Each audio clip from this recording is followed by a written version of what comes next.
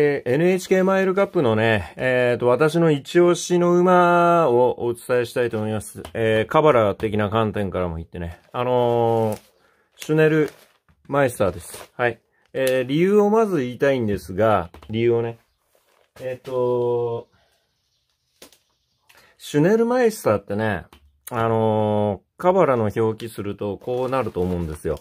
えっ、と、マイスターってドイツ語だと思うんですよ。こういうスペルになるんだけど、そうじゃなくて、あの、前もね、え言ったようにカバラの場合だったら日本語の発音表記にするんで、シュネルマイスターってなるんですね。で、あの、これって、あの、今回のレースって、あのレース名ですよね、問題は。こういうことなんですよね。NHK マイルなんですよ。なので、過去ね、NHK マイルっていう、えーこのイニシャルを持った馬が構想しやすいんですね。で、えーこの馬は NH 持ってます。シュネルマイスター。で、マイルの、マイ、マイルっていうのも入ってるんですね。ちなみに言うと。はい。あのー、河原の、えー発音表記にすると。はい。で、あのー先にこれいくか。えっ、と、ちなみに、えー音数計算、これ合ってるかわからないですけど、絶対音数は合ってると思います。はい。音数計算しますと、えー絶対音数は1なんですよ。合計数55だから。えー5たす5で10。母音数はね、ちょっとね、ここをこう含むのか、こうだ、ここだけだったかちょっと覚えてないんだけど、多分ここだけだって、ここも含むんだったらちょっと変わってくるんだけど、えーと、いずれにしろね、母音数と子音数はちょっと自信ないんだけど、絶対音数はこれで間違いないです。どっち、どっちだったかな？ちょっともう一回あれだな、勉強し直さなきゃいけないな。えっ、と、ただね、この絶対音数1っていうのは、えっ、と、今年は、この日は2021年の、えー5月。えー5月、えー9日ですよね、日曜日。えーえーっと、あ、9日だね。9日だね。で、これ2、4、5、5なんですね。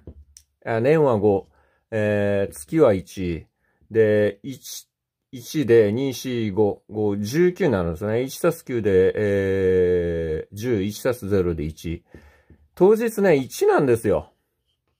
はい。で、シュネルマイスターの音数出すとですね、これ絶対音数1なんですわ。はい。ということでね、あのーレース名イニシャルをも持ちつつ、えーなおかつ音数も持ってるっていうことと、あと、だから今年はね、ルメール記乗しますけど、ルメールの紐あれじゃないかなと。ルメール、ルメール自体も、えー、この NHK マイルの、ルって持ってるんですね。で、彼自身も、えーっと、昨年、レシステンシア。はい、昨年ね、あの、レシステンシアでこれ一番人気で2着してます。はい、2着してます。で、あとはメジャーエンブレムか。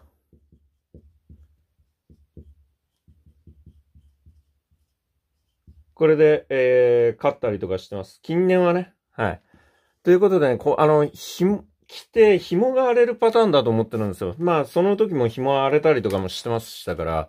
でね、あのーこのレースは、あの、過去見てもね、やっぱり、この、さっきほどの、この音数表記で、い、い、カバラの表記にして、えーアルファベット表記にしましたけど、例えばですけど、んのつく馬、ののつく馬、かのつく馬、くのつく馬、きのつく馬、けのつく馬、ねのつく馬。つまり、えー、何ぬねの、あの、N、NH 競馬っていうことですね。はい、言ってしまえば。あの、な、な行、ね。な行、えー、は行、えー、家行の馬結構来てるんです。例、例あげますけど、えー、例えば、あのー、KI ノーテックとか。これ、えー、18年に買ってます。1着になってます。はい。これですよね。K、えー、ノー、ノー、ノーっていうのが。で、く、く、NHK 馬なんですね。はい。えー、例えば、あのー、これ、えー、13番人気だった、あリエノテソーロ。これ、のって入ってるんですね。はい。これ偶然とかじゃないんですよね。あと、やっぱり、運のつく馬が多いんですね。あのー、ギベオンとか、はい。えー、レ、レ、レッドベイロン。はい。うん、うん、うんがつく馬とか、レッドベイロンとかメジャーエンブレム、レレインボーラインとか。ラライン。レインボーラインとか。はい。で、えー、っと、そうですね。か、えー、っと、12年勝ったカレン・ブラックヒルとか。はい、これ、あれですよね。運もついて、競馬ですよね。はい、NHK 馬。だそうしたね、のがいるんですよね。あの11年なんかはコテリオン。はい。2着してますけど、コテリオン。競馬ですね。NHK 馬。えー、そうですね。あと、あのー、めっちゃ穴開けた10番人気で、マイネル、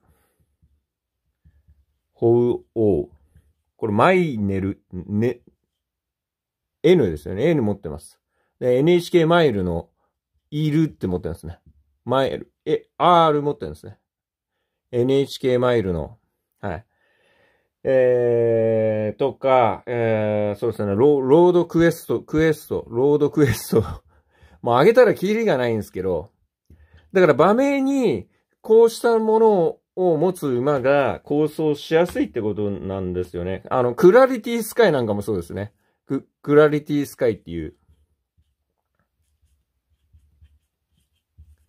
はい。競馬。競馬ですよね。クラリティスカイ。えー、もう、上げたらキリがないですけど。はい。だから、運がつく馬、ボンセルビーソとか、ミゼスルタンとか、そうですね。あの、だから、えー、一昨年はカテドラルとか。はい。競競馬です。はい。が、そうしたのが多い、ラウダシオンも、うん、運が入ってましたしね。はい。ということで、こうした馬を見ていくと、やっぱり怪しいのはこれになってくるんです。総合的に怪しいのは、これになってくるんですね。はい。シュネルマイスター。ということでね、あのー、私の、えー、一押しは、えー、シュネルマイスター。こ、こっからちょっと紐、えー、薄めで、えー、組み立てればいいんじゃないかなという結論です。はい、以上です。